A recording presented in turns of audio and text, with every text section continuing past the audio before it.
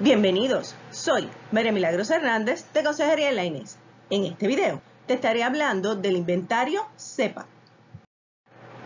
CEPA es un inventario de intereses vocacionales ofrecido por el College Board y sus siglas significan Conoce, Explora, Planifica y Actúa. CEPA es un instrumento de orientación que se utiliza para ayudar a estudiantes a conocer, explorar y planificar su futuro educativo y ocupacional. Se requiere que todos los estudiantes de octavo y décimo grado tomen este cuestionario. Participar de la administración del inventario CEPA es completamente gratis para estudiantes matriculados en escuelas públicas. Es fácil y rápido. Se contesta de manera digital y el proceso toma aproximadamente una hora. El cuestionario se divide en siete secciones. La primera sección corresponde a tus datos personales, nombre, edad, grado, sexo y programa de estudios. En la segunda sección contestarás ocho preguntas dirigidas a conocer un poco más sobre tus planes de estudios. La tercera parte es un inventario de habilidades que posees. Verás una lista de 20 habilidades y deberás seleccionar cinco habilidades que posees y cinco habilidades que deseas desarrollar. En la sección de intereses ocupacionales encontrarás una lista de actividades. Identificarás si te gusta o no te gusta realizar cada una de ellas. En la sección de valores ocupacionales identificarás los cuatro valores que consideras más importantes. Estos valores representan aquellas cosas que son muy importantes para ti en un empleo.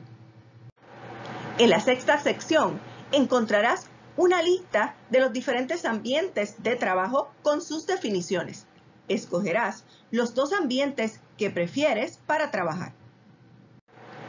Por último, contestarás la escala de motivación y percepción académica. En esta, evaluarás tu motivación hacia el trabajo académico. El inventario estará disponible electrónicamente a partir del 1 de noviembre de 2022 y cierra el 10 de noviembre de 2022. Estas fechas están sujetas a cambios. Contestarás el cuestionario durante un periodo de clase. Debes traer tu computadora oficial el día que se te asigne.